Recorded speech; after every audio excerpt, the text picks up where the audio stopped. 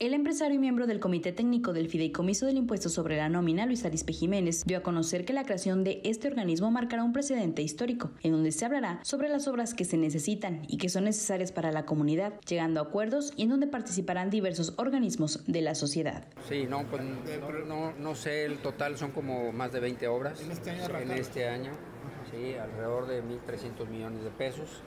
Este, bueno, pues no me las sé de memoria, hay muchas, este, muchas obras ahí en el tema de seguridad, el tema de infraestructura, el tema de salud.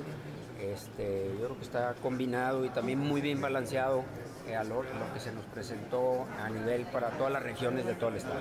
Arispe Jiménez expresó que este tipo de consejos son históricos y abonan el crecimiento y fortalecimiento de la entidad, en donde conjunto se trabajará en la creación de 20 obras que se requieren en todo el estado. Que hace toda la diferencia con todos los gobiernos anteriores que nunca habíamos podido instalar lo que habíamos solicitado por muchos años y en muchos sexenios, este, un fideicomiso. Es algo histórico, es algo sobresaliente y, este, y pues hay que aplaudirlo, la buena voluntad que hay en ese sentido.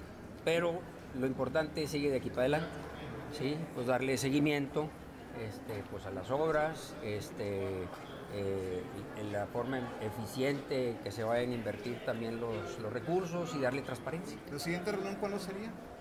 No tenemos fecha. No, pero se va a febrero. Tres, cuatro veces al año. Para Enlace 13 informó Denisa Maniego.